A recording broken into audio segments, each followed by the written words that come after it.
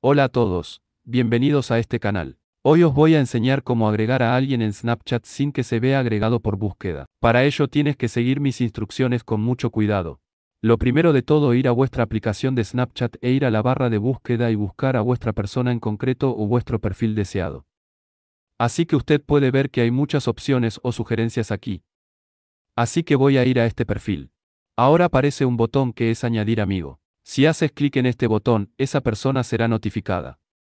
Pero te voy a mostrar una opción de bypass. En la esquina superior derecha verás un botón con tres puntos. Haga clic en este botón. Ahora haga clic en el botón enviar perfila. Ahora hay muchas opciones aquí, pero en la segunda opción se puede ver la herramienta de compartir. Bajo la sección de compartir herramienta en el primer lugar hay un botón para copiar el enlace. Simplemente copia el enlace.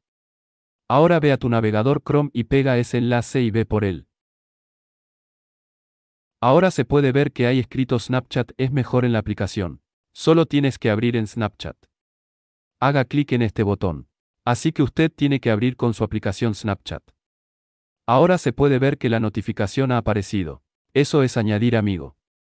Así que si haces clic en añadir amigo ahora no serás notificado se te añadirá directamente. Así que eso es lo fácil que puede hacerlo siguiendo mis pasos. Si este tutorial te ha servido de ayuda, no olvides suscribirte a mi canal. Nos vemos en el próximo.